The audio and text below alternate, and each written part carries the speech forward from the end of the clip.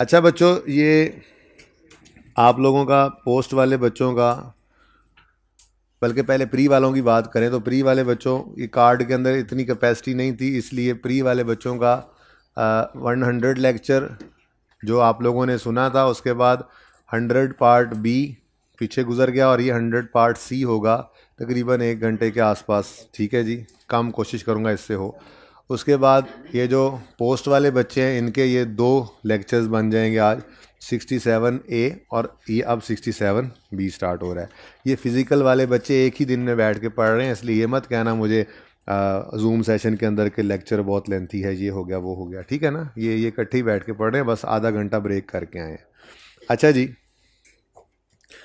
Cash operating cycle की interpretation लिख लें जी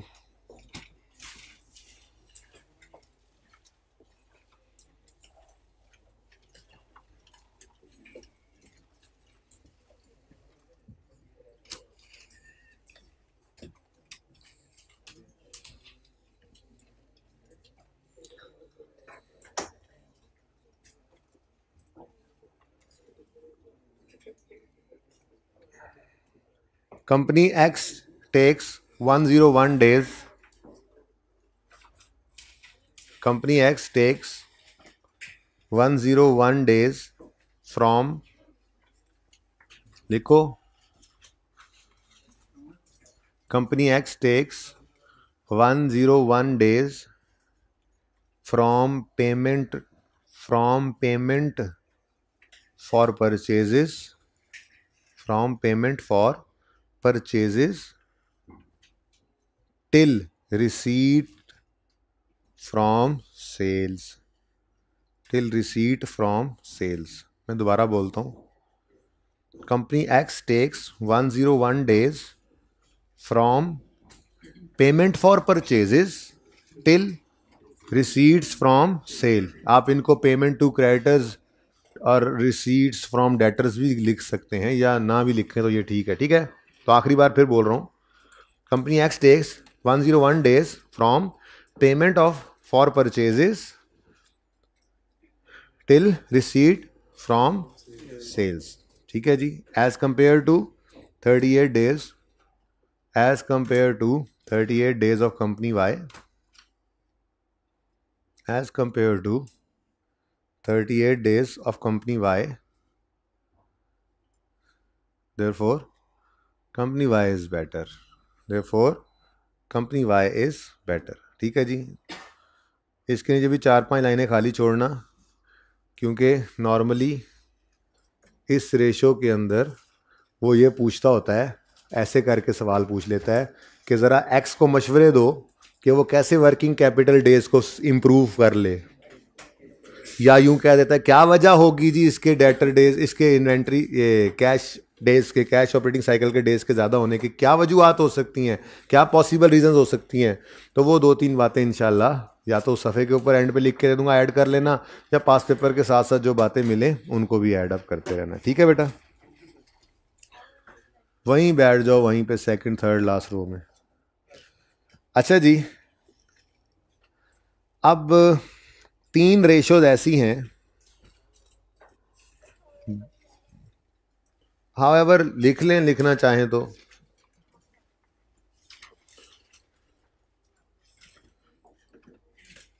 इंडस्ट्री एवरेज के साथ तो कंपेयर कर ही सकते हैं ना आप ठीक है कि कैश ऑपरेटिंग साइकिल इंडस्ट्री में करना चाहें तो कर सकते हैं अच्छा जी अब मैं अर्ज कर रहा हूँ कि हमारी तीन ऐसी रेशोज हैं जो नंबर सिक्स नंबर सेवन और नंबर एट इन तीन रेशोज़ को ही एक और तरीके से बताती हैं इन्वेंट्री डेज डेटर डेज और क्रेडिटर डेज इनको बताने का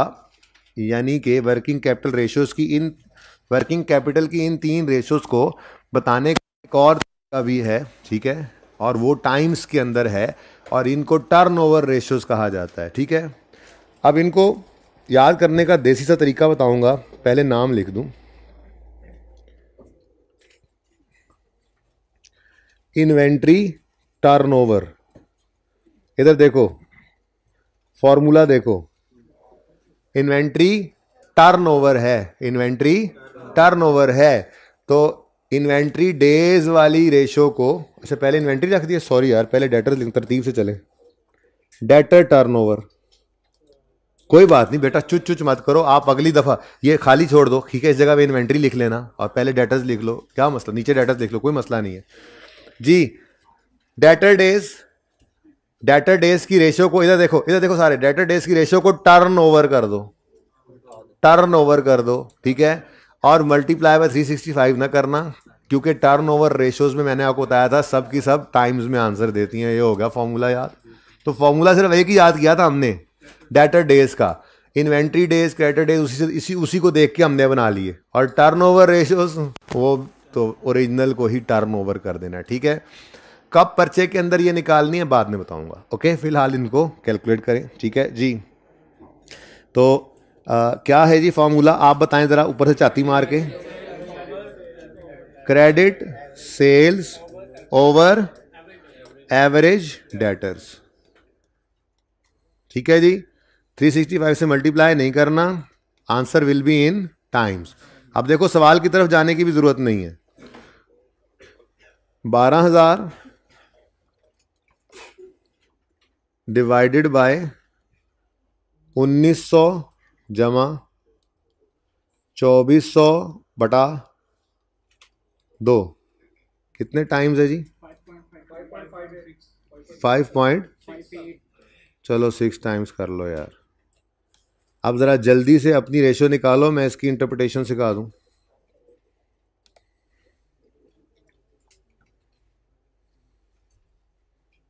मेरा दिल था कि ये वाली भी तीनों कर लेते लेकिन ब्रेक से पहले ना वो ज़रा एब्जॉर्बशन कैपेसिटी बता रही थी कि बहुत स्लो हो गई है तो मैंने कहा भाई फ़ायदा नहीं है थोड़ी ब्रेक कर लेते हैं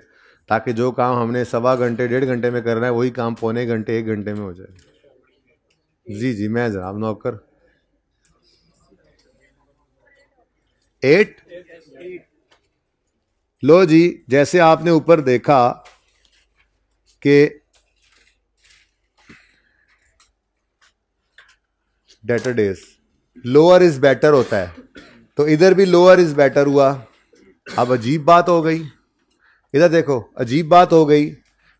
एक रेशो का तरीका बता रहा है कि वाई बेटर है जबकि उसी रेशो को एक और तरीके से देखने आया तो ये बता रहा है कि एक्स बेटर है गड़बड़ नहीं हो गई गड़बड़ नहीं हुई है रेशो टर्नओवर की है ना तो ये डिसीजन भी टर्नओवर हो गया है असल में कहानी पता है क्या है ये रेशो बताती है कि कितनी दफा डेटर्स कैश में कन्वर्ट हुए एक साल में हाउ मैनी टाइम्स लिखवाता हूं पहले सुन तो लो कितनी दफा एक्स के डेटर्स कितनी दफा कैश में कन्वर्ट हुए इस साल में पांच दफा और वाई के डेटर्स आठ दफा तो फिर किसके डेटर्स ज्यादा दफा कैश में कन्वर्ट हुए वाई के तो डिसीजन आज भी वही है ठीक है ये रेशो सिर्फ बताने का तरीका डिफरेंट था ऊपर हमने क्या बताया था इतने दिनों में डेटर्स कैश में कन्वर्ट होते हैं तो जिसके कैश में कन्वर्ट होते हैं डेटर्स कम दिनों में तो साल के दौरान उसी के ज्यादा दफा कन्वर्ट होंगे ना कैश में ठीक है तो डेटर टर्नओवर रेशो क्या बताएगी how many times debtors are converted to cash during a year समझे हो तो लिखो जाके इंटरप्रिटेशन डेटर टर्न ओवर की इंटरप्रिटेशन लिखो जी इंटरप्रिटेशन तो हम पहले हम पहली लाइन के अंदर ये भी बता जाते हैं ना कि ये क्या कर रहा है और डिसीजन भी ले लेते हैं ज़रा शॉर्ट करके हमने फॉर्मूला सा बनाया हुआ ठीक है ना तो लिखो debtors of company X are converted to से cash debtors of company X are converted are converted into cash 5.6 times during a year debtors of company x are converted into cash 5.6 times during a year as compared to as compared to eight times of company Y as compare to eight times लंबियाँ कहानियाँ नहीं लिखानी मकसद मकसद ये आपको समझ आ जाए इस ratio ने क्या बताया बस इतना ही होता है बाकी तो वहाँ पे आपको लिखना सिखाऊंगा पर्चे के अंदर कैसे लिख रहे होते हैं दो चार वजूहत भी लिख देंगे कि डेटर क्यों जी किसी के डेटर डेज कम हो सकते हैं मैंने आपको जैसे पहले बताया जी वो डिस्काउंट्स ही बड़े अलाउ करते हैं जी वो सख्ती बड़ी करते हैं जी वो पहले क्रेडिट वर्दीनेस ही बड़ी चेक करते हैं कि जो बंदा बिल्कुल साफ़ सुथरा हो वो सेल ही उसी को करते हैं शक वालों करते ही नहीं है ताकि बैड डेट ना हो ठीक है ना तो ये वजूहत भी सीखेंगे इंशाल्लाह बहरहाल क्या लिखा हमने debtors of company X are converted into cash 5.6 times during a year as compare to eight times of company Y therefore company Y is better ठीक है देयर फोर कंपनी वाई तो एक रेशो डेटर की ही दो ratios है ना तो दोनों में डिसीजन तो नहीं ना बदल जाना था ठीक है डिसीजन आज भी वो ये कह रहा है चालीस दिन में डेटर्स कैश कैश दे जाते हैं और ये क्या कह रहे हैं साल में आठ दफ़ा दे जाते हैं और वो कह रहे हैं पैंसठ दिन में कैश दे के जाते हैं जी क्या कह रहे हैं पांच दफ़ा देकर जाते हैं तो भाई जितनी कम दिन लेंगे उतनी दफ़ा ज़्यादा उतने टाइम से ज़्यादा कन्वर्ट होंगे ना कैश में ठीक है अच्छा अब इसके अंदर जो वजूहत हैं वो उनके लिए वो ज़्यादा लाइन छोड़ने की ज़रूरत नहीं है क्यों जो डेटर डेज के कम होने की वजूहत होंगी या कम करने की वही इन टाइम्स को बढ़ाने की होंगी इसलिए इनके नीचे लाइन छोड़ने की ज़रूरत नहीं है डेटर डेज के अंदर ही जो रीजंस लिखेंगे ना वो डेटर टर्नओवर की भी वही रीजंस होंगी बस बोलने का तरीका डिफरेंट है भाई डेटर डेज और डेटर टर्नओवर क्या है डेटर की दो तरह से बोलने का तरीका डेटर्स की रेशियो को ठीक है ना ये क्या कह रहे हैं चालीस दिन में पैसे दे जाते हैं ये क्या कहते हैं आठ दफ़ा दे जाते हैं तो भाई ये बेटर है ये भी बेटर है तो इसको कम रखने की वजूहत इसको ज़्यादा रखने की वजूहत वही होंगी ना इसलिए इसके नीचे मैंने कहा तीन चार लाइनें छोड़ने की ज़रूरत नहीं है डेटर डेज में ही दो तीन रीजंस लिख लेंगे वो दोनों जगह चलेंगी ओके जी हावर लिख लो यार लिख लो तुम्हारी पसंद है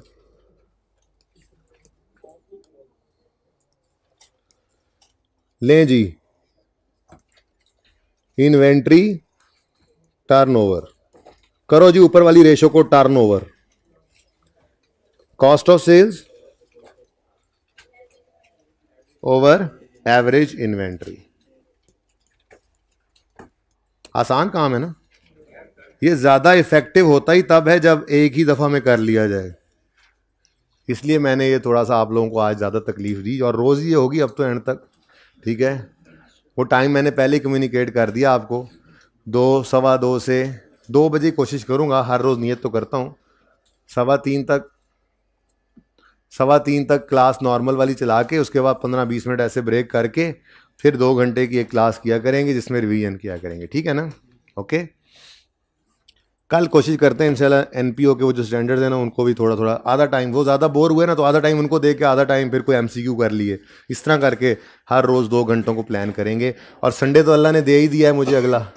अल्लाह का एहसान है रब मेहरबान है तो अगर खुदा ना खास्ता आपकी चीज़ें पूरी नहीं होती तो संडे में फिर फुल डे बुला लूँगा एक दफ़ा और फिर छुट्टी संडे से आगे नहीं जाना ये बता दिया सात तारीख डेड डेडलाइन है जो भी होगा मरना होगा या धरना होगा सात तक ही होगा ठीक है जी ओके अल्लाह ने चाहा तो अगर बशरते ज़िंदगी हो तो पहली बात मार मुर जावा तो बखरी गल है कल वाला संडे आप लोगों का फ्री है ये लगवा तो दिया आज आप लोगों का संडे ठीक है ना कल आपने यही बैठ के याद करना है जो आपको दे रहा हूँ जी बच्चों cost of sale nine three double nine double three zero है नाइन डबल थ्री जीरो है sixteen hundred plus forty two hundred divided by two is equal to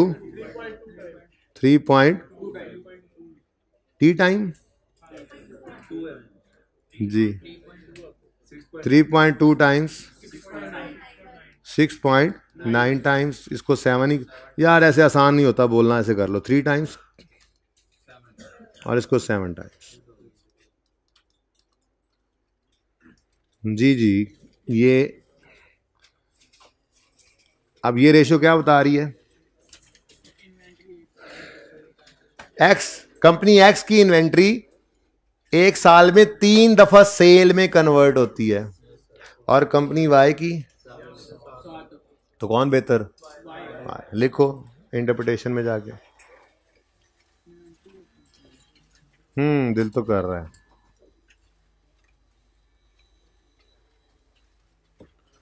जी लिखें इन्वेंट्री ऑफ कंपनी एक्स बस कोई लाइनें बीच में छोड़ने की जरूरत नहीं है मैंने आपको कहा डेटर्स के अंदर जो लिखेंगे ना डेटर डेज में जो वजूहत बेटर रेशियोज की वो ओवर भी वही वजह वही होनी है वही चल जाएंगी सारे काम मेरे नाल ही हो रहे ने अज जी अच्छा जी लिखें inventory of company X is converted into sales three times in a year as compare to seven times of company Y as compared to दो तीन बार बोलता तो हूँ इन्वेंट्री ऑफ कंपनी एक्स इस भाई ये चुप करा दो इनको यार प्लीज़ कोई जाके कोई नहीं है बंदा आज आपके पास दूसरा आप बैठ जाओ भाई आप बैठ जाओ आ जाएगा कोई ना कोई कोई नहीं आप पढ़ लो inventory of company X is converted into sales three times in a year as compare to seven times of company Y Y. Therefore, ज़्यादा जो ज़्यादा दफ़ा इन्वेंट्री को सेल में कन्वर्ट कर ले वो बेटर हुआ ना therefore company Y is better however dot dot dot अब हाउ एवर तक आ गए हैं कहाँ से शुरू हुए थे पूरा जुमला लिखा फिर however it is better to compare these result with dot dot dot फिर however is it better to compare dot dot dot और अब however dot dot dot ये ना हो अगली रेशे तक डॉट डॉट डॉट रह जाए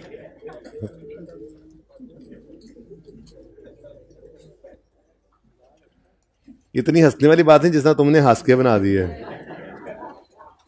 मैं शक में पड़ गया पता नहीं हंस ही रहा है ना कोई क्रेडिटर टर्नओवर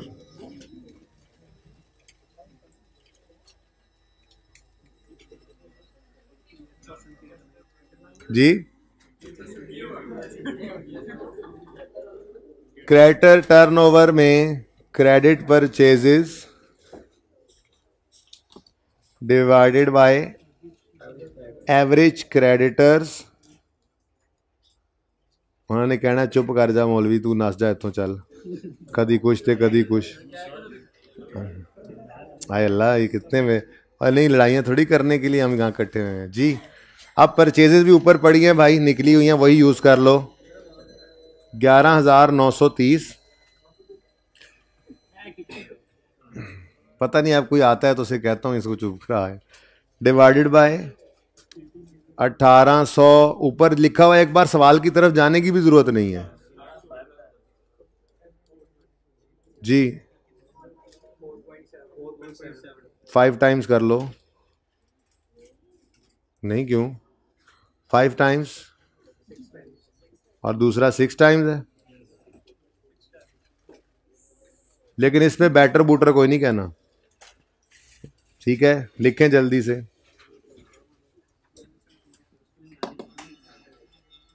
किसके लिए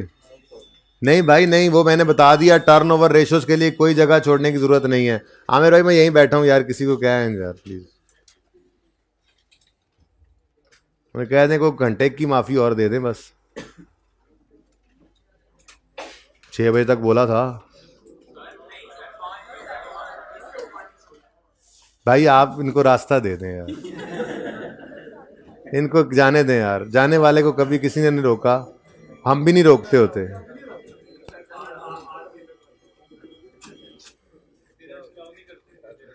अच्छा जी रिक्शा आ गया होगा आपका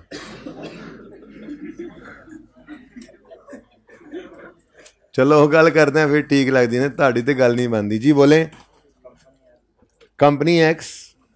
क्या कंपनी एक्स हाँ, लिखो creditors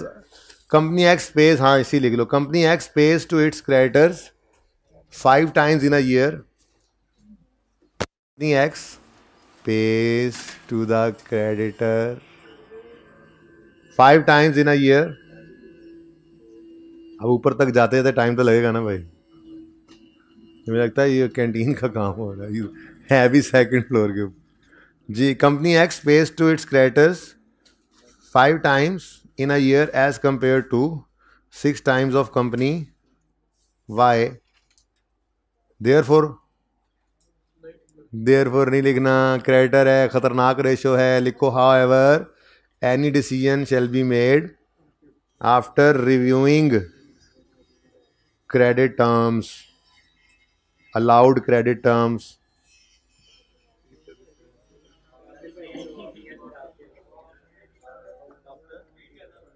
However, any decision shall be made after considering credit period allowed या credit policy या credit terms जो मर्जी लिख लो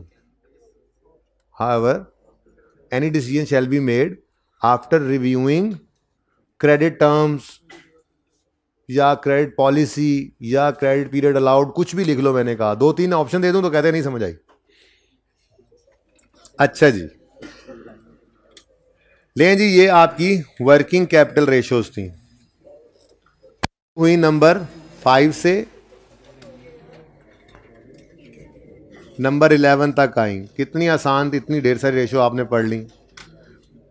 जो पहली चार रेशोज हैं वो प्रॉफिटेबिलिटी की रेशोज़ थी उसके बाद हमने वर्किंग कैपिटल की रेशोज़ पढ़ी कौन सी रेशोज़ जी working capital ratios working capital में करंट एसेट्स और करंट लाइबिलिटीज ही देखे ठीक है जी अब तीन रेशो सिर्फ और पढ़नी है आपने ठीक है उसके बाद फिर तीन और पढ़ के छुट्टी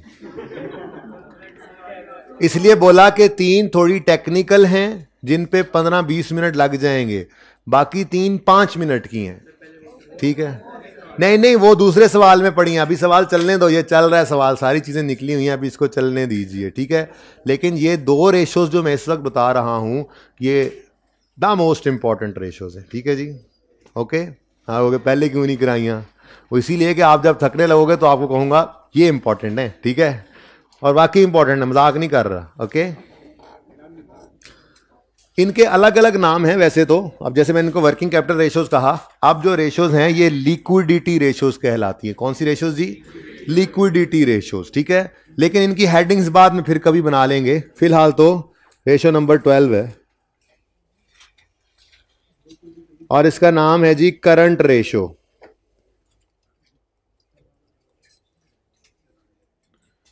करंट रेशो का फॉर्मूला बहुत आसान है लेकिन इसको जो है ना बड़े ध्यान से इंटरप्रेट करना पड़ता है इम्पॉर्टेंट बहुत है ठीक है अच्छा जी current assets minus current liabilities current assets minus current liabilities और आंसर इसका भी टाइम्स में होता है ठीक है अच्छा अब असल में ना पहले सुन लो ये रेशो बताती क्या है ये एंड पे हम खड़े होकर अपने करंट एसेट्स को देखते हैं और करंट लाइबिलिटीज को देखते हैं ये कहेगा मैं एसेट हूँ मैं लाइबिलिटी नहीं वैसे मैंने इशारा कर दिया करंट एसेट हम ये देखते हैं कि एक रुपया करंट लाइबिलिटी पे करने के लिए मेरे पास रेशो निकाल लेते हैं ना टोटल रुपीज नहीं होते एक रुपया करंट लाइबिलिटीज पे करने के लिए एक रुपया करंट लाइबिलिटी पे करने के लिए मेरे पास कितने रुपए पड़े हैं करंट एसिड्स में ठीक है सब कुछ लिखवाता हूँ फॉर्मूला भी लिखवाता हूँ कैलकुलेट भी करते हैं मैंने सिर्फ ये बात इसलिए बताई कि मेरा आपसे सवाल अभी आपको कहा था स्टार्ट में कि बैलेंस शीट आइटम्स को जहां मुमकिन हो एवरेज आउट कर लेना इसको करना चाहिए एवरेज आउट ये एज ऑन एज ऑन खड़े होकर कहते हैं इस वक्त हमारे सर पे इतनी लाइबिलिटीज हैं करंट वाली और इनको पे करने के लिए इतने करंट एसिड्स हैं तो इनको एवरेज आउट आपने लिक्विडिटी हाँ, रेशियोज को एवरेज आउट नहीं करना इससे अगली डेट रेशियो आ रही है उसको भी आपने उसको भी एवरेज आउट नहीं करना तो ये अगली तीन रेशोज में हमने बैलेंस शीट के आइटम्स को भी एवरेज आउट नहीं करना क्योंकि हम एज ऑन खड़े होकर देख रहे होते हैं पोजीशन अपनी क्या है ठीक है तो बाकी अब इतनी सी बात थी आगे तो फिर आसानियाँ ही आसानियाँ हैं लेकिन रेशो बहुत इंपॉर्टेंट है इसलिए जिस जो इसकी बेसिक बेसिक बात लिखवाऊंगा ना उसके नीचे पांच छह लाइनें इसके लिए छोड़नी है ठीक है इनशाला इसके अंदर भी दो तीन दो तीन पॉइंट्स आएंगे और दो तीन पॉइंट्स लिखवाने होते हैं पांच छह लाइनें इसलिए छुड़वा रहा हूँ कि कौन सा कन्फर्म है कि आपने एक लाइन में पॉइंट लिख लेना है इसलिए मैं चार पाँच चार पाँच लाइनें छुड़वाता आ रहा हूँ ठीक है कहाँ गया जी करंट एसिड कहाँ हैं जी करंट एसिड कहाँ हैं current assets eighty nine hundred है मेरी कंपनी के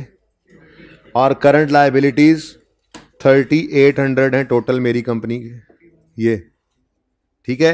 तो current assets divided by minus current life जी बोले दोनों फिगर्स बोले ना एटी नाइन हंड्रेड माइनस अच्छा जी माइनस थर्टी एट हंड्रेड गुस्सा कर गए भाई इज इक्वल टू भाई current asset minus current life मैंने गलती ली गलती कर दी मैंने current asset minus current liability होता है जी वर्किंग कैपिटल में गलत बोल गया ये इसका फॉर्मूला जो बोल रहा था वो सही बोल रहा था वो क्या है current assets over current liabilities ठीक है जी करंट एसेट्स ओवर क्या है भूल जाता है इंसान हूँ मैं भी ये नहीं बताया मैं चेक था हाँ नहीं बस ब्रेक कर रहा हूँ वो वर्किंग कैपिटल रेशियो से निकला हो ना और वर्किंग कैपिटल कहते हैं current assets minus current liabilities को तो दिमाग के अंदर वही बात चल रही थी कोई बात नहीं वापस आ जाए जी टाइम्स में टाइम्स में आंसर टाइम्स में जी करंट एसेट्स जैसे ही मैंने आगे आंसर देखा फॉरन में मुझे समझ लगी नहीं नहीं गड़बड़ हो गई है जी eighty nine hundred divided by divided by thirty eight hundred क्या आंसर आया अच्छा आप देखना ज़रा इधर 2.3 का मतलब क्या है सुन लो ज़रा ये मैं कह रहा हूँ कि टू पे रूपी असल में ना कहानी इस तरह से है इस तरह से नहीं ठहरो ये कहानी बेसिकली इस तरह से है 2.3 point three is to one असल ये कहानी क्या है जी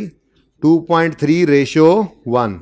क्या मतलब to pay rupee one current liability we have 2.3 current assets available ये बड़ी ज़रूरी रेशो होती है जैसे मैंने थोड़ी देर पहले एग्जाम्पल दी थी ना यार आज आप क्लास लेने ही नहीं आए यार हैं अभी चल रही है उधर टैक्स की क्लास चल रही है ओके हम तो छः बजे ही करेंगे एक ही बार ब्रेक ठीक है ओके सारे उधर ना टुर जाना अच्छा सुने प्लीज प्लीज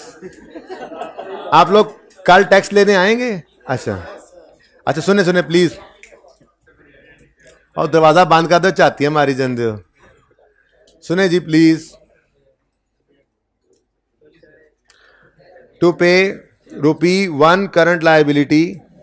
देखें मैं आपको मिसाल के तौर पे क्या कह रहा था कि आपका बिजली का बिल आए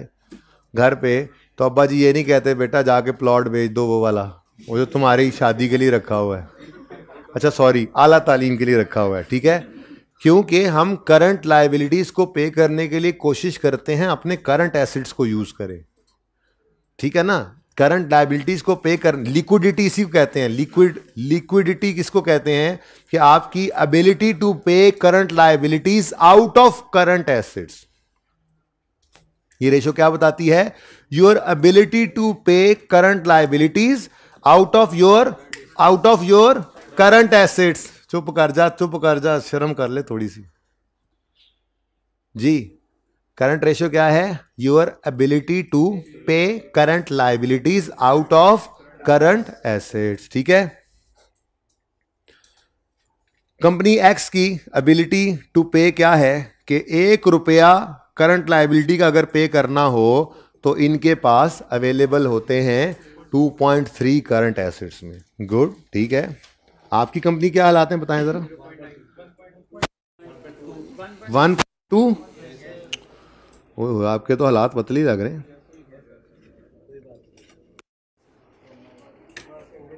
जी बेटा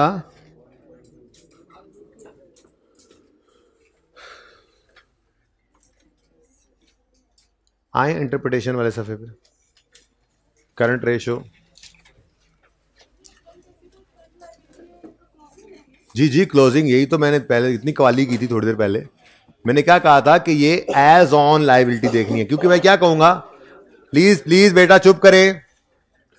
ड्यूरिंग द ईयर क्या रही पोजीशन मुझे उससे कोई सरोकार नहीं है साल के शुरू में कितना रिसीवेबल था कितना पे कितने लाइबिलिटी थी कितने एसेट्स थे उससे कोई सरोकार नहीं है हमने तो ये कहना है कि एज ऑन आज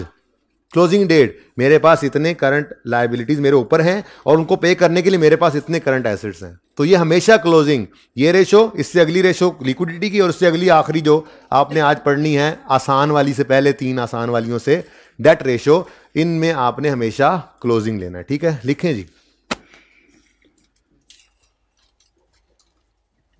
लिखें जी पॉइंट वन में बताएंगे ना ये रेशो क्या बताती है जो बातें की हैं वो पहली लाइन में ही आ जाए सारी तो लिखें टू पे Rupee 1 current liability to pay Rupee 1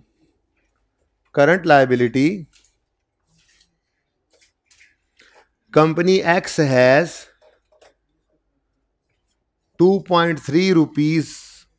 of current assets available to pay Rupee 1 current liability company X has 2.3 rupees of current assets available available as compare to as compare to rupees one point two of company Y continuity में लिख दो तो पता लग जाता है कि उसी बात ही कॉन्टीन्यूटी में लिख रहे हैं ठीक है दे कौन बेटर मैं बेटर ठीक है देयर फोर मुझे उधार जल्दी मिल जाएगा लोगों से आपकी नस्बत ठीक है therefore company company X is better ठीक है जी अच्छा अगली बात तो बेटा ऊपर वाली को भी टाइम्स में निकाला था ये देखो एक ऊपर भी काम करके आए थे ये देखो एसिड टर्नओवर रेशो रुपी में किया था ना इसको भी इधर देख लो उधर क्या देख रहे इधर देख लो टाइम्स में निकाला था इंटरप्रिटेशन क्या की थी इसकी कि एक रुपया अगर आप कैपिटल एम्प्लॉयड में फेंकें तो इतनी रुपये की सेल आती है रुपीज़ में ही है कितनी गुना रुपयों के अंदर बता रहे हैं ठीक है ये वाले टाइम्स को आपने क्योंकि ये थी ही डेज वाली रेशो जिसको टाइम में लेके गए ना इसलिए मैंने ये कहा कितनी दफ़ा हो रहा है ठीक है ना वो इसलिए थोड़ा डिफरेंट हो गया आप भूल गए कि टाइम्स वाली तो रुपीज़ में आ सकती थी अच्छा जी लेकिन एक बात याद रखना एक पॉइंट तो लिखवा देना बाकी तीन चार लाइनें पांच छह लाइनें तो छोड़नी है आपने लेकिन एक लाइन तो लिखवा दू ना कह नहीं पा रहा कोई पूछे ना आपसे कि आइडियल करंट रेशो क्या होती है तो उसे कहना आइडियल करंट रेशो होती है टू इज टू वन यानी आइडियली अकाउंटेंट्स कहते हैं कि आइडिया ये मैं लिखवाता हूँ अगला पॉइंट फिलहाल खच खच खच खच खच खच सफों ना शुरू करें सुने फिलहाल ये अगला पॉइंट लिखवाना है सब्र करके सुन लें देखें अकाउंटेंट्स क्या कहते हैं कि आपके एक रुपया करंट लाइबिलिटी पे करने के लिए मैक्सिमम दो रुपये करंट एसेट्स में पड़े होने चाहिए इससे कम रिस्की हो जाता है जो आपकी कंपनी के केस में ठीक है और इससे ज़्यादा जो है ना वही मुनासिब नहीं है क्यों करंट एसेट्स में क्या पड़ा होता है इन्वेंट्री डेटर कैश इन्वेंट्री बहुत ज्यादा पड़ी है कोई अच्छी बात है ये तो खतरे की ये सारी बातें इंशाल्लाह आने वाले दिनों में एक एक दो दो करके लिख लेंगे ठीक है ना जब प्रैक्टिस कर रहे हुआ करेंगे ठीक है लेकिन जबानी जबानी बता, बताता तो रहूँ ना ठीक है इन्वेंट्री के ज़्यादा होने का क्या खतरा है उसके से क्या खतरा है ऑब्सोलीट हो जाए पड़े पड़े बना के रख लिया आपने हाँ, इन्वेंट्री पायल अप की हुई है स्लो मूविंग है लगता है आपकी इन्वेंट्री पड़े पड़े ऑब्सोलीट हो जानी है खतरा है डेटर्स ज़्यादा है अच्छी बात है नहीं शक है कहीं इरिकवरेबल तो नहीं हो जाएंगे कहीं बैड डेट ना हो जाए खतरा पड़ रहा है ठीक है आप कहोगे सर आप वैसे ही ना हमारे नहीं इन्वेंट्री ज़्यादा और हमारे नहीं डेटर ज़्यादा सिर्फ कैश ज़्यादा है अब तो कोई मसला नहीं है मसला है कैश को कहीं और अदर कहीं और किसी और जगह इन्वेस्ट करो वो और पैसे कमाएगा वेला कैश रखा क्यों है आपने अगर एक्स्ट्रा कैश पड़ा है तो कहीं और इन्वेस्ट करो पैसे कमाओ क्यों रखा हुआ है आपने सरप्लस कैश पड़ाओ तो उसको पढ़ा नहीं रहने देते उसको कहीं ना कहीं और इन्वेस्ट कर लिया जाता है उसको वेला नहीं रखते ओके सही है तो अगला पॉइंट लिखें बल्कि इसी कंटिन्यू करें therefore company by company X is better ठीक है लेकिन आगे लिखें however however an ideal current ratio is 2 is to 1 current ration लिख लिया तुमने रेशो की वजह से हाँ। ठीक है जी however an ideal current ratio is two is to one ठीक है और आगे लिखवा दूं थोड़ा सा अच्छा ऐसा करो ना ये इस इस, इस जुमले को ना तोड़ के नया कर लो यानी कि पता है क्या कोई बात नहीं है आप घर पे नया कर लेना सुन लो इधर मैं चाह रहा हूँ कि एक थोड़ी सी वजह लिखवाता भी चलूँ ठीक है ना तो आप आगे लिखो ना पॉइंट नया कर लो हाव काट के ना उसको वहीं पे पॉइंट टू कर दो कोई नहीं लिख लिया ना कॉन्टिन्यूटी में हाव एवर को काटो उसके ऊपर पॉइंट टू लिख लो ठीक है अब तो तकलीफ दूर होगी ना अब जो जुमला ऐसे बन रहा है ठीक है an ideal current ratio is two is to one and any excessive ratio and any excessive ratio मैंने कहा थोड़ा सा लिखवा भी दूँ ना सारा ही कल कल पे डाली जा रहे हैं तो ये ना हो फिर and any excessive ratio may be an indicative and any पूरे रेशो के टॉपिक में याद रखना हमने मे के साथ चलना है शैल शुल नहीं इस्तेमाल करना ठीक है ना हाँ हम हम जो है वो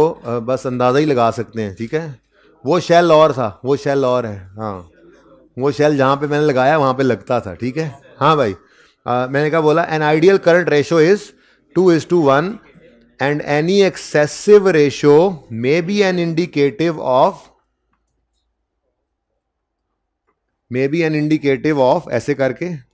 दो तीन छोटे छोटे पॉइंट्स लिख लें स्लो मूविंग और ऑब्सोलीट स्टॉक ये लिख दिया है ना ऑब्सोलीट स्टॉक पुराना हो गया पड़े पड़े और इरिकवरेबिलिटी इरिकवरेबिलिटी ऑफ डेटर्स और excess cash otherwise available for investment ये मुश्किल होगा जुमला एक्सेस कैश बस बट ठीक है काफ़ी ठीक है ये अब जुमला बेहतरीन हो गया सुनो अब हो सकती है होने को तो कुछ भी हो सकता है तुमको आग लग सकती है हो लग सकती है फिर जल भी सकता है लेकिन मैं तो कह रहा हूँ एक्सेस पड़ा है बस ठीक है उसको इन्वेस्ट कर लो डराना थोड़ा ही जी तो क्या जुमला बना जी पहले तो हमने बताया कि कंपनी एक्स की ये रेशो है वाई की ये वाई बेटर एक्स बेटर है ठीक है फिर हमने क्या कहा an ideal ratio is two is to one and any excessive ratio may be an indicative of slow moving of stock current है एसिड ज़्यादा पड़े ना या इरिकवरेबिलिटी ऑफ डेटर्स लेकिन मे के साथ बात कर रहे हैं हमें श्योरिटी नहीं होती कि ऐसा होगा ठीक है ना और excessive excess cash which may be invested elsewhere ठीक है ना अगला पॉइंट लिख लें ever it is better to compare वाला और डॉट डॉट डॉट डाल दें लाइन इसमें अब दो अब बात तो मैंने काम की लिखवा दी है एक दो लाइनें फिर भी छोड़ लो अच्छा होता है कोई और चीज़ बाद में आ ही जाती है सामने तो दो तीन लाइनें छोड़ दो तो अच्छा होता है अगली रेशो है क्विक रेशो टोटल अभी बहुत दूर है सफर ये इक्विडिटी की दो ही रेशोज हैं एक हो गई एक ही होने लगी है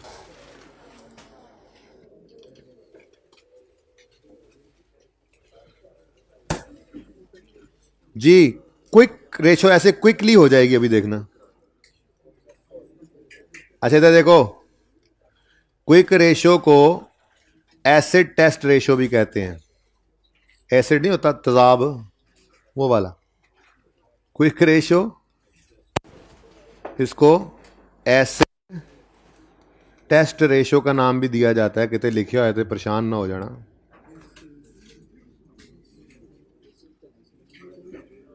इसका फॉर्म्यूला है क्विक एसिड्स कायद आजम नहीं लिखा हुआ ये quick assets over current liabilities answer is in times वो बताता हूँ बेटा मैं कहा टुर गया वहां लिख के क्विक एसिड्स का फॉर्मूला लिखता हूं जी अपने दोस्त के लिए वरना तो नहीं लिखना था ये ना पूछा तो मैंने कहाँ लिखना था क्विक एसिड्स कहते हैं जी current assets minus inventory current assets minus inventories ठीक है अब अब बहसो मुबासा शुरू होगा और हाथ खड़ा कर रहे हो या वैसे लड़ाई ले रहे हो अच्छा फ्राड लगा रहे हो मेरे साथ अच्छा मेरा सवाल आपसे करंट एसेट्स में से इन्वेंट्रीज तो आपने निकाल दी ये कहकर कि ये क्विकली कन्वर्टेबल इनटू सेल नहीं होती इन्वेंट्री को सेल करना हो तो बहरहाल बहुत सारा जो है वो पलाल करना पड़ता है ठीक है क्विक एसेट्स का मतलब तो ऐसे अवेलेबल हो इन्वेंट्री नॉर्मली ऐसा नहीं होता कि बिल्कुल ऐसे बिक कर फॉरन कैश भी ला दे ठीक है तो अकाउंटेंट्स ने कहा प्लीज़ प्लीज़ कि इन्वेंट्री को निकाल ही दो बाकी क्विक एसेट्स रह गए तो फिर मेरे इन अकाउंटेंट्स में से एक ने उठ के कहा कि सर अगर प्री पेमेंट पड़ी हो तो क्या करें प्री पेमेंट्स करंट एसेट में पड़ी होती हैं प्री पेमेंट किसे कहते हैं पहले पैसे दे दिए सर्विसेज बाद में आनी है आपका बिल आ गया तो प्री पेमेंट से आप चुका लोगे आपने मालिक मकान को अगले छः महीनों का किराया दिया हुआ है आपका बिजली का बिल आ गया आप वो प्री पेमेंट उधर इस्तेमाल कर सकते हो तो प्री पेमेंट तो फिर जो है वो अगर करंट एसेट्स के अंदर पड़ी हुई है और क्विक एसेट्स आप चाहते हो तो प्री पेमेंट तो इसमें कतन भी नहीं छोड़नी ये तो फिर इन्वेंट्री से भी पहले माइनस करना चाहिए आपको तो माइनस कर दोगे प्री पेमेंट ठीक है और जी और कोई एतराज़ और कोई एतराज़ हाँ भाई कहते हैं डेटर्स क्यों नहीं निकाल रहे भाई डेटर्स भी तो ऐसे कह सकते हैं ना कि जी फौरी तौर पे कैश में कन्वर्ट नहीं हो हो सकता है कि कुछ अरसा लगा दें वो पैसे देते हुए डेटर्स को क्यों नहीं निकाल रहे क्विक एसेट्स निकालते हुए आपने इन्वेंट्रीज को भी निकाल दिया आपने प्री पेमेंट्स को भी निकाल दिया डेटर्स को भी निकालें सिर्फ कैश छोड़ें तो भाई इसको नहीं माजरत ये नहीं निकालेंगे हम ठीक है उसकी वजह है एक कॉन्सेप्ट जिसको कहते हैं डिस्काउंटिंग ऑफ डेटर्स क्या कहते हैं जी बड़े होके पढ़ेंगे बी के अंदर वर्किंग कैपिटल मैनेजमेंट के अंदर जाके बहरहाल बहरहाल होता क्या है मैं बता देता हूँ मुख्त सरन कैलकुलेशन नहीं सिखाऊंगा वो वहीं पे जाके सीखेंगे बता देता हूँ होता क्या है आपका कोई डेटर था आप सौ रुपये का मतलब आपने सौ रुपये उससे रिसीव करने थे आपका रिसीवेबल था सौ रुपये का आपको पैसों की ज़रूरत पड़ गई अशद अब उस बंदे को आपने चीज़ें बेची थी वो दो महीने के तीन महीने के उधार पे बेची थी यानी आपने उसको क्या कहा था तीन महीने बाद पैसे दे जाना अभी महीना ही गुजरा था कि आपको बहुत सख्त जरूरत पड़ गई पैसों की अब उसके पास तो आप जा नहीं सकते क्योंकि उसको आपने दो महीने का अभी भी टाइम रहता है जो दिया हुआ था तो आप आप चले जाते हैं बैंक के पास और बैंक को जाके कहते हैं कि भाई ये मेरा डेटर है ठीक है इससे मैंने सौ रुपये लेने हैं मिसाल के तौर पे तो आप ऐसा करो ये मुझे आप आज नबे रुपये दे दो दो महीने बाद ये सौ देगा दस आपके चार्जेस हैं आप फटाफट जो है मुझे पैसों की ज़रूरत है मुझे नवे पकड़ाओ ये डेटर मेरा नहीं अब आपका है इसको इस कॉन्सेप्ट को कहते हैं डिस्काउंटिंग ऑफ डेटर्स ठीक है ना तो इस डिस्क समझ आई है डिस्काउंटिंग के कॉन्सेप्ट के होने की वजह से हम डेटर्स को क्विक एसिड ही समझते हैं कि अगर मजबूरी पड़ भी गई तो जाके डेटर्स को बैंक से डिस्काउंट करा लेंगे इसलिए करंट एसिड्स में डेटर पड़े हों क्विक एसिड निकालते हुए उनको माइनस नहीं करना वो भी क्विक एसिड ही हैं हाँ इन्वेंट्री और प्री पेमेंट को ज़रूर माइनस कर देना है ठीक है जी फरमाए बेटा फिर अब देखेंगे ना अब वो तो बैंक का हिसाब किताब है रिस्क जिसने लिया है रिवॉर्ड भी वही ले रहा है ये तो फिर बात की बात है मेरा तो मकसद नहीं है फिलहाल इस बहस में पढ़ना बैंक से पूछो आपको डिस्काउंट करके दे रहा है तो किस बेस पे करके दे रहा है चार्जेस ले रहा है तो रिस्क एंड रिवॉर्ड भी वही ले रहा है कोई अपनी स्क्रूटनी करता होगा यार वो ठीक है ना अब मेरा मकसद थोड़ा ही है मैंने जाके नब्बे रुपये ले लिया और उसको दे दिया सारा कुछ अब वो जाने उसका काम जाने उसने मूँछों वाले रखे होते हैं कर लेंगे रिकवर नहीं होने देंगे बैड वो वो नहीं होने देते बैड ठीक है ना हाँ ओके जी क्विक एसिड्स निकालने हैं जी हमने क्विक एसिड्स ये 8900 क्लोजिंग जी क्लोजिंग सिर्फ क्लोजिंग पे चल रहे हैं एवरेज नहीं करना 8900 ये टोटल करंट एसेट्स हैं इनमें से हमारे सवाल में तो सिर्फ इन्वेंट्रीज ही हैं बयालीस सौ की ठीक है तो ये क्या कर देंगे माइनस ठीक है तो क्विक एसिड्स निकाल लेते हैं जी कितने जी current assets current assets eighty nine hundred है माइनस फोर्टी टू हंड्रेड की इन्वेंट्री है तो क्विक एसिड्स कितने आ गए फोर्टी सेवन हंड्रेड अब क्विक रेशो है forty seven hundred over thirty eight hundred answer is one point two times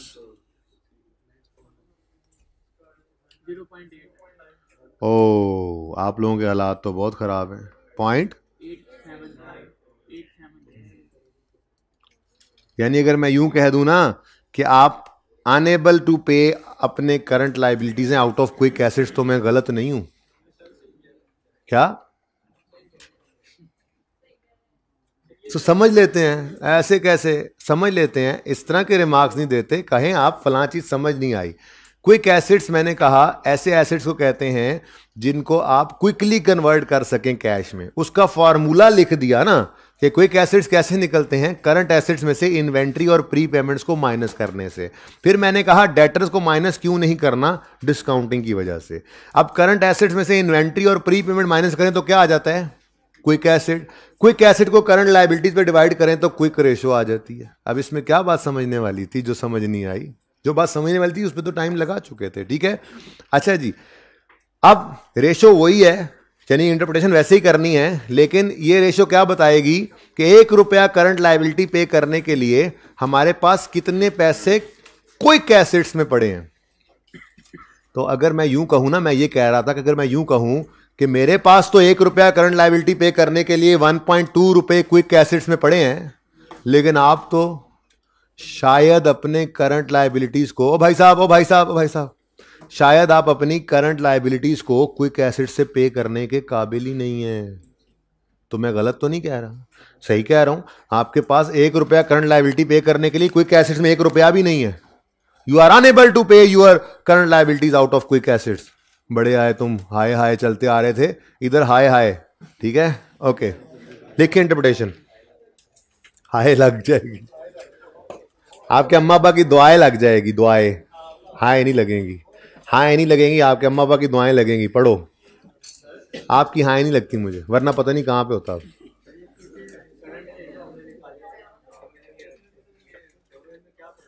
जी बेटा आप देखें क्या फ़र्क है भाई यहाँ पे करंट एसेट्स दिए हैं जिसमें इन्वेंट्री भी पड़ी है प्री पेमेंट्स भी पड़ी है इसमें से वो निकाल दिया ये फर्क है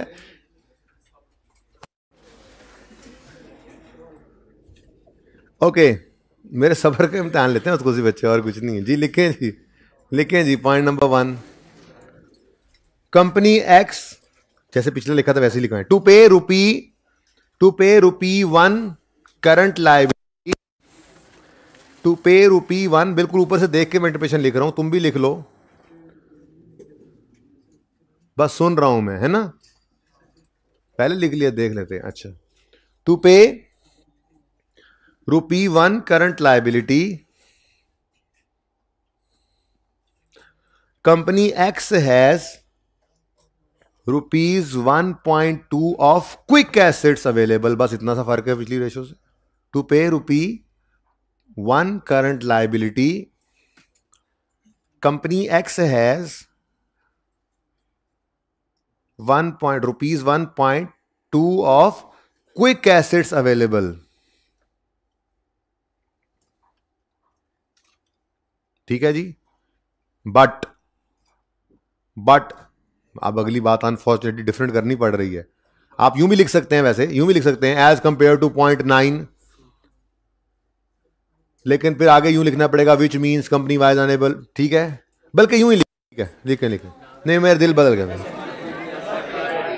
बस बट को काटना है बट गया कट जी सुने to pay rupee one current liability company X has rupees one point two of quick assets available as compare to as compare to rupees point nine of company Y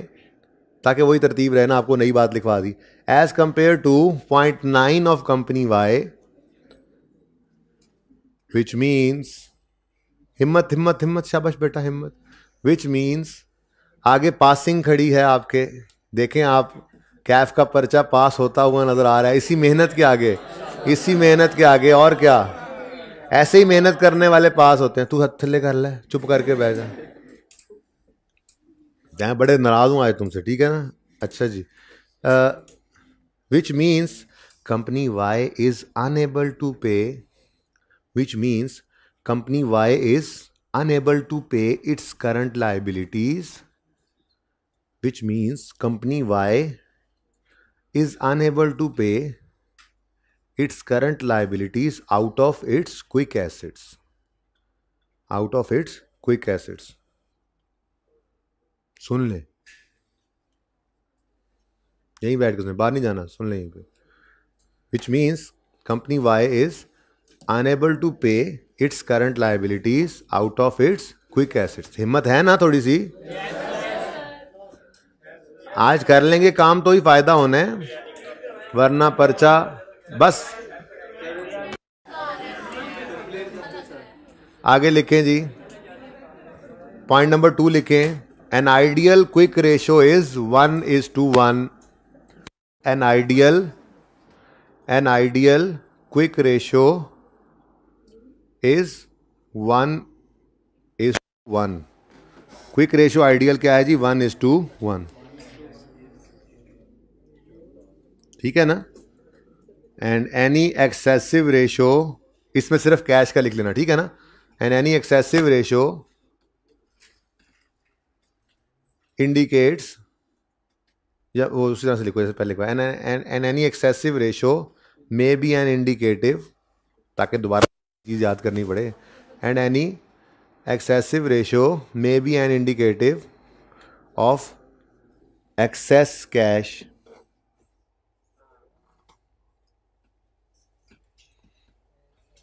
ठीक है जी देखो हम debt inventory को prepayments को वैसे ही निकाल चुके हैं तो हैं ही क्विक एसेट्स ना भाई बातें नहीं प्लीज़ भाई साहब कह रहे हैं इसमें टू इज टू वन क्यों नहीं है तो उसका जवाब यह है कि ये हैं ही क्विक एसेट्स आपको एक रुपया करंट लाइबिलिटी पे करने के लिए द्रा एक रुपया करंट एसेट में पड़ा होना काफ़ी है आप क्यों दो रुपये रखना चाहते हो तो इन्वेंट्री की वजह से आप थोड़ा सा करा रहे थे ना एडिशनल ठीक है चल ओके जी अब आखिरी मुश्किल रेशो आखिरी मुश्किल रेशो है गियरिंग रेशो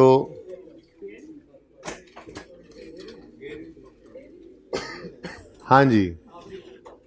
आखिरी मुश्किल बाकी तीन आसान इसके बाद हैं फिर छुट्टी है डर के आगे जीत है यहां मैं लिखने लगा हूं जी सुन लें आसान लफ्ज पहले लिखता हूं आसान नाम डेट इक्विटी रेशो इसको डेट ओवर इक्विटी रेशो भी कहते हैं ठीक है जी debt equity ratio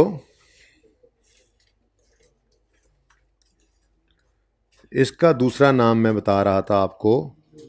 gearing ratio भी कहते हैं इसका फिर तीसरा नाम भी है लीवरेज रेशो नामों का क्या है असल वाला याद रखो बाद में दूसरे नाम लिख लेंगे जी डेट इक्विटी रेशो फॉर्मूला बहुत सिंपल है debt over equity plus debt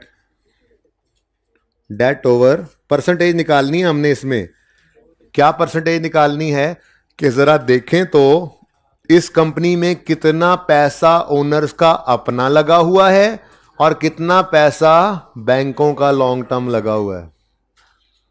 तो जितना पैसा लोगों का लगाया होगा इस कंपनी ने उतनी ये रिस्की ज़्यादा होगी ओनर्स उतने नॉन सीरियस होंगे वैसे भी कैपिटल क्या होता है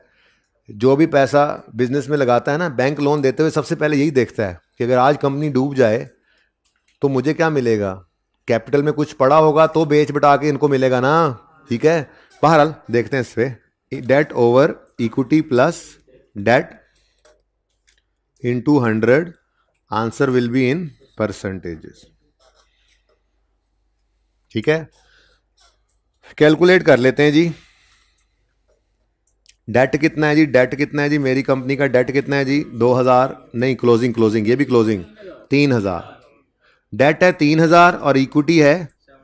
इकहत्तर सौ इधर देखो जी डेट थ्री थाउजेंड और इक्विटी प्लस डेट इक्विटी कितनी है जी seventy one hundred plus three thousand ठीक है जी into answer is forty percent कर लो twenty nine point seven thirty percent मुझे लगा शायद आप forty thirty nine point seven कर जी थर्टी परसेंट लिख लो यार ये लो हाँ जी ज़रा देख कर बताओ इस कंपनी को देखते हुए बैंक खुशी खुशी इसको लोन देंगे या डर के इसको खुशी खुशी देंगे लोन बात समझिएगा इसको खुशी खुशी लोन क्यों देंगे क्योंकि उन्हें यह नज़र आ रहा है कि इस कंपनी में आधे से ज़्यादा का अपना पैसा है यानी अगर आज ये कंपनी डूब जाए तो सिर्फ तीस फीसद सिर्फ तीस फीसद बैंकों का पैसा है तो सारे एसेट्स भी बेच देंगे ना तो वो पैसे लेने के बाद हमारे पैसे फिर भी रिकवर हो जाएंगे इनको लोन दे दो डूबने की सूरत में भी हम सिक्योर हैं इनको लोन एक और चीज़ भी देखती है कंपनी वो रेशियोज मंडे को करेंगे इंशाल्लाह इंटरेस्ट कवर रेशियो इंटरेस्ट को भी देख रहे होते हैं कि हमें इंटरेस्ट मिलेगा या नहीं मिलेगा लेकिन फिलहाल तो प्रिंसिपल को सिक्योर करने के लिए बैंक सबसे पहले कौन सी रेशियो देखेगा डेट ओवर इक्विटी रेशियो ठीक है ना इसके दो तरीके हैं कैलकुलेट करने के लेकिन दूसरे को मैं नहीं बता रहा ना मैंने बताना है फिलहाल देखते हैं कल देखेंगे परसों मतलब बताना या नहीं बताना इसका यही तरीका है ठीक है ओके फिलहाल आपकी ज़िंदगी में बस एक ही तरीका है आप ज़रा मुझे अपनी कंपनी के बारे में फरमा दें हाँ जी फोर्टी वन परसेंट अच्छा वैसे तो ये भी इतनी रिस्की नहीं है कि बैंक लोन ही ना दे लेकिन अगर एक्स और वाई के दरमियान कंपैरिजन देखें ना तो फिर वाई ज्यादा रिस्की है एक्स की निस्बत ठीक है सही है आ जाओ इंटरप्रिटेशन पे नहीं इंटरप्रिटेशन हाँ, इसके बाद तीन रेशोज हैं और आप बेशक मार्क कर लीजिएगा टाइम पांच मिनट जब ये इंटरप्रिटेशन लिख लेंगे तो पांच मिनट तीन रेशोज पांच मिनट ठीक है लेकिन फिलहाल ये तो लिख लें पहले इसके बाद क्विक रेशो के लिए कोई ज़रूरत नहीं है बस ऊपर करंट के लिए तीन चार लाइनें छोड़ी थी ना वही उसमें से कैश वाली बात क्विक में यूज़ कर लेंगे कोई मसला नहीं है जी लिखें डेट इक्विटी रेशो में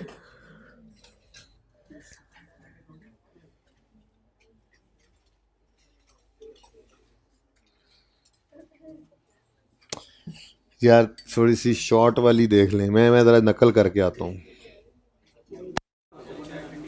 ओ यार चाय तो मुझे याद ही नहीं रही असल में मुझे अच्छी नहीं लगी थी तो फिर रह गई आखिरी रेशो पे पहुंच गए कमाल नहीं हो गया यार इतना सारा काम ये देखो ये सारा काम हमने किया हुआ लेकिन आपने ये नहीं देखना इसने बताया आपको कि एक एक बात तीन लाइनों में लिखी है नहीं हम तो जैसे कभी बस एक नज़र कभी देखना हो ज़िंदगी में तो आज ही देख लेना उसके बाद दोबारा ना देखना ठीक है बस ठीक है हमने कर लिया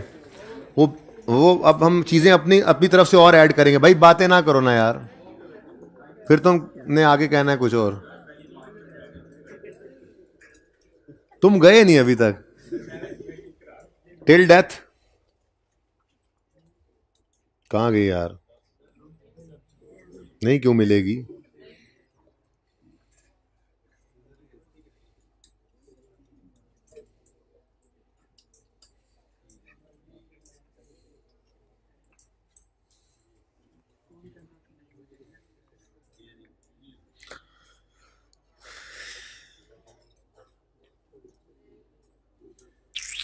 इधर भी लंबी लंबी बातें लिखी हैं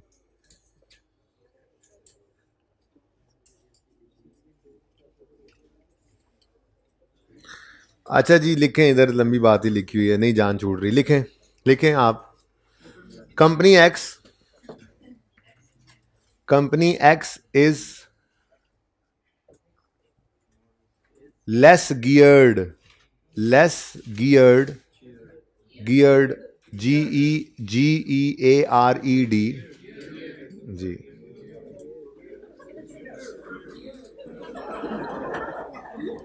टाइम ऐड हो रहा है मुझे तो कोई मसला नहीं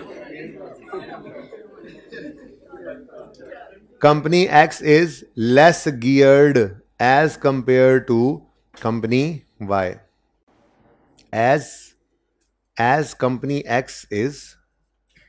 company X is less geared as compared to company Y as as it is depending as it is depending more as it is depending more on owner's equity as is as company X की बात कर रहा हूँ as company X is depending more on owner's equity than than debt ठीक है जी owners equity than bank loan debt ठीक है लेकिन आगे एक बात लिखें हाउएवर एवर ठहरें असल में बेसिकली मैंने ये लिखवाना है कि दोनों ही वैसे दोनों ही पचास परसेंट से कम पर हैं तो वैसे दोनों ही कम रिस्की हैं ठीक है ना हाँ जिनमें से कोई पचास से ऊपर चली जाए ना इनमें से अगर पचास से ऊपर जाती तो बैंक उसको लोन देते हुए कतराता ठीक है तो ज़रा मुझे दोबारा जुमला पढ़ने दें company X is less geared as compare to company Y at is it at at is depending more on owners equity than debt how both companies are both companies both companies debt equity ratio is you लिखे लिखें ever both companies debt equity ratio is less than 50%. However, both companies ratio is less than 50%. Therefore, both are less risky. हाँ geared लिख लो geared risky बस ये risky लिखो ना हर जगह गियर्ड अच्छा नहीं लगता है फिर आप जियर्ड कहते हो हाउ एवर हाउ एवर क्या लिखवाया था both companies debt equity ratio is less than 50 percent therefore both are less risky ठीक है इससे हमने ये भी बता दिया एग्जामिनर को कि हमें पता है कि 50 परसेंट से ऊपर अगर इनमें से किसी की परसेंटेज होती तो वो रिस्की ज़्यादा हो जाती ठीक है इसके नीचे भी तीन चार लाइनें खाली छोड़ दीजिएगा ठीक है बस अब आखिरी सुन ले अब टाइम नोट करें और पाँच मिनट बतालीस क्यों हो गए तुम्हारे दो मिनट पीछे क्यों तुमने देखे इस पे देखा है मेरी घड़ी पे तो साढ़े तिरतालीस हो गए अच्छा सुने यार फजूल में मत बोले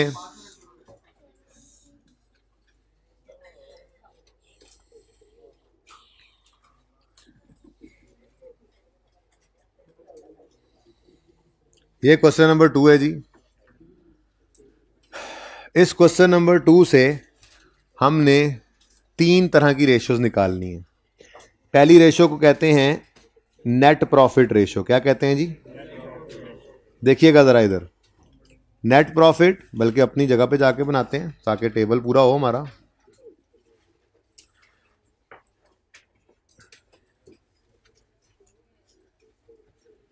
ये जो दो रेशोज थी ये टाइम पाँच मिनट में काउंट ना करना ये दो रेशोज छुप करके बैठे हैं ये दो रेशोस लिक्विडिटी रेशोस कहलाती हैं और ये एक रेशो डेट रेशो कहलाती है फोर्टीन ठीक है जी अब मैं मज़ीद तीन प्रॉफिटेबिलिटी रेशो करवाने लगा हूँ स्टार में स्टार्ट में चार करवा के आया था आपको ठीक है जी नहायत आसान रेशोज हैं ठीक है नंबर फिफ्टीन इसको कहते हैं net profit ratio net profit ratio भी कहते हैं net profit to sale ratio भी कह देते हैं अगर यूं कह दे तो फिर तो फॉर्मूला भी उसने खुद ही बता दिया ये ratio net profit over sales into hundred से निकलती है परसेंटेजेस में इसका आंसर होता है और ये रेशो क्या बताती है कि एक सौ रुपया सेल करें तो उसमें नेट प्रॉफिट कितना कमाते हैं हम is a, it, this is as simple as this जी जी तो हज़ार की सेल है अब ये ना क्वेश्चन नंबर टू में मजबूरन आना पड़ा हमें क्वेश्चन नंबर टू में क्यों आए जी मजबूरन क्योंकि ऊपर वाले में तो प्रॉफिट एंड लॉस अकाउंट ही सेम था ठीक है जी कैलकुलेशन क्या करें टाइम बचा लें एक तो मिलता ही नहीं है मुझे सवाल नीचे से जाके अच्छा जी नहीं मिला मुझे चलो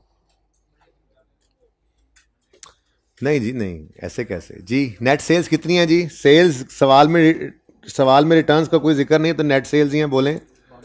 नेट प्रॉफिट कितना है और नेट सेल्स कितनी है नेट प्रॉफिट पचहत्तर है और नेट सेल्स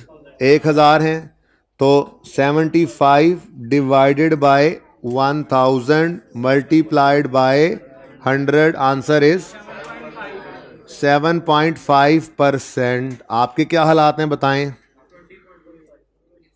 क्या ट्वेंटी वन परसेंट हाँ ट्वेंटी परसेंट चलो वो भी बहुत ज़्यादा है यार मेरे हिसाब से तो मेरे तो मेरे हम मेहनत की हुई है बच्चों ने दें जी इस रेशो का मतलब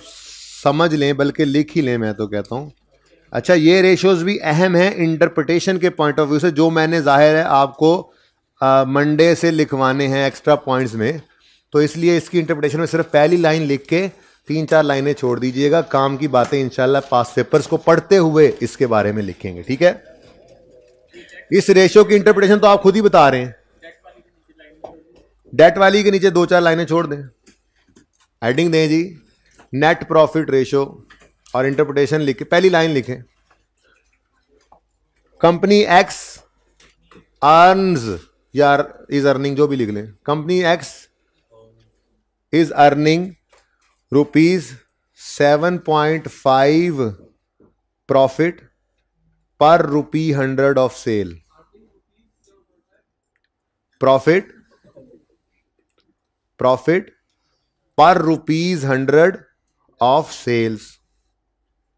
ये अपने अपने तौर पे भी लिख सकते हैं आप ऐसे लिख देते कोई किसी ने ऐसे भी लिख लिया हो सकता है कि per rupee hundred sale company X is earning seven point five profit एक ही बात है ना लकीर के फकीर रहना बस जी company X earn rupees seven point five profit per rupees hundred of sales as compared to rupees twenty of company Y rupees twenty आपने निकाल के बताया मुझे तो नहीं पता as compared to rupees twenty of company Y there कौन सी बेटर है जिसका प्रॉफिट ज्यादा है एक सौ रुपया इधर कोई इधर सौ की सेल हो तो हमें साढ़े सात का प्रॉफिट आता है इधर सौ की सेल हो बीस का प्रॉफिट ये बेहतर है नेट प्रॉफिट ठीक है for company Y is better इसके लिए चार पांच लाइनें खाली छोड़ दो ratio number sixteen second last ratio आज की जीपी रेशो अब आप ही बताओ इसका क्या फॉर्मूला होगा हाँ, बस और अब क्या क्या बताऊं ये ऐसे छोड़ के चले जाते हैं हम तो gross profit over sales into hundred answer will be in percentages ji gross profit जी बेटा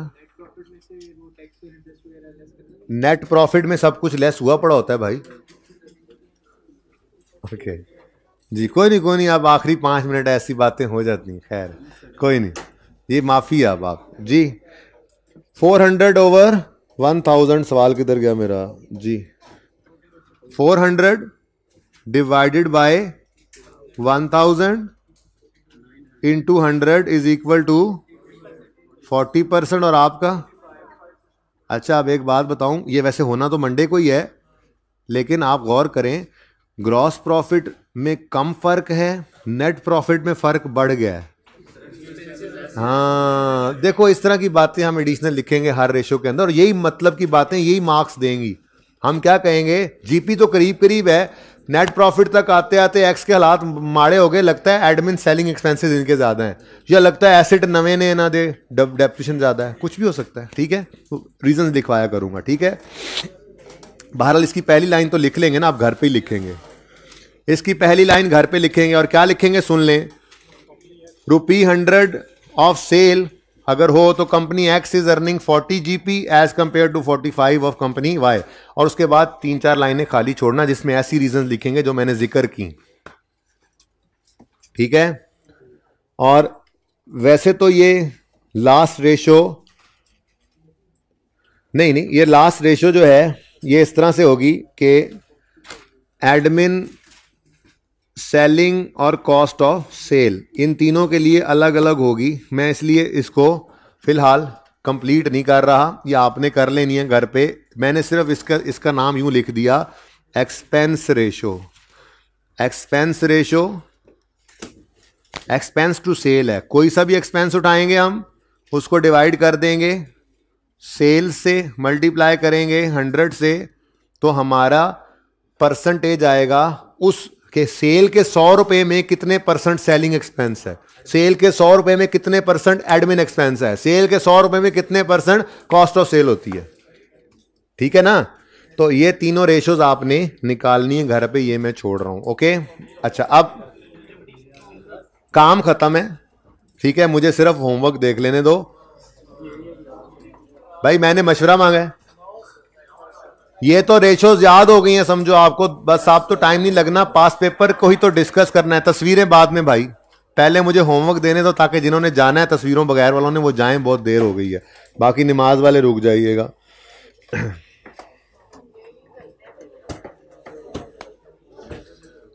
पास पेपर्स इनशाला आप अटेम्प्ट करके जब आएंगे ना आपको खुशी होगी कि कुछ आधा आधा कैलकुलेशंस आपकी सब सही हो जाएंगी इंटरप्रिटेशन में भी कोई ना कोई एक दो बातें आपकी गुजारे लायक सही हो जाएंगी तो आपको थोड़ा कॉन्फिडेंस आएगा कि यार एक लेक्चर में काफ़ी काफ़ी तैयार हो गया है हाँ ठीक है अभी थोड़ी सी प्रैक्टिस की हमें ज़रूरत है वही तो करनी है मंडे से लेकिन रेशो सब याद हो मैंने सुननी है मंडे को बहुत इंपॉर्टेंट टॉपिक है हर अटेम्प्ट में इसके सवाल आता है हर अटेम्प्ट में और फेल इसलिए करवाता है कि आप लोग अगला काम जो मैंने शुरू करना है ना मंडे से वो ध्यान से नहीं करते और बातें चार पांच छोटी छोटी याद रखने की बजाय लंबी कहानियां लिखते हैं वहां पे मारे जाते हैं फिर अच्छा जी क्वेश्चन नंबर वन छोटा सा सवाल है पांच मिनट में हो जाना है लेकिन इसका पार्ट बी फिलहाल आपने नहीं करना पेंडिंग है जी page number seven forty nine आई कैप के पास पेपर्स का क्वेश्चन वन ए ये कर लेना है आपने ये पांच मिनट का भी नहीं है सवाल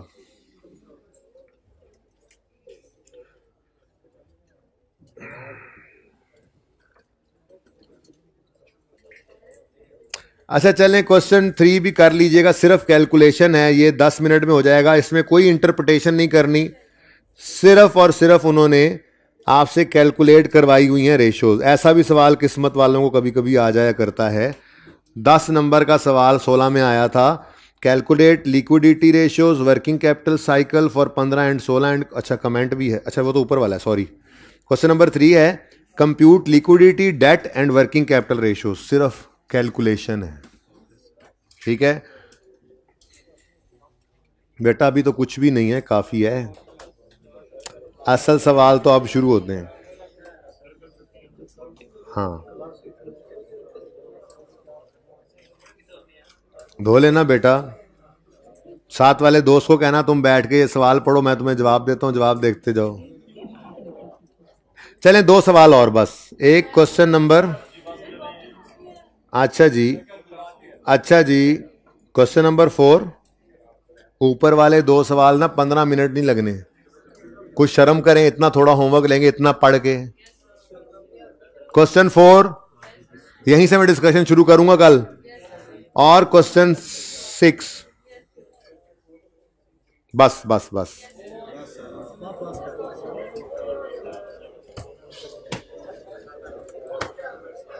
इधर देखें जी होमवर्क भी लिख दूं एक बार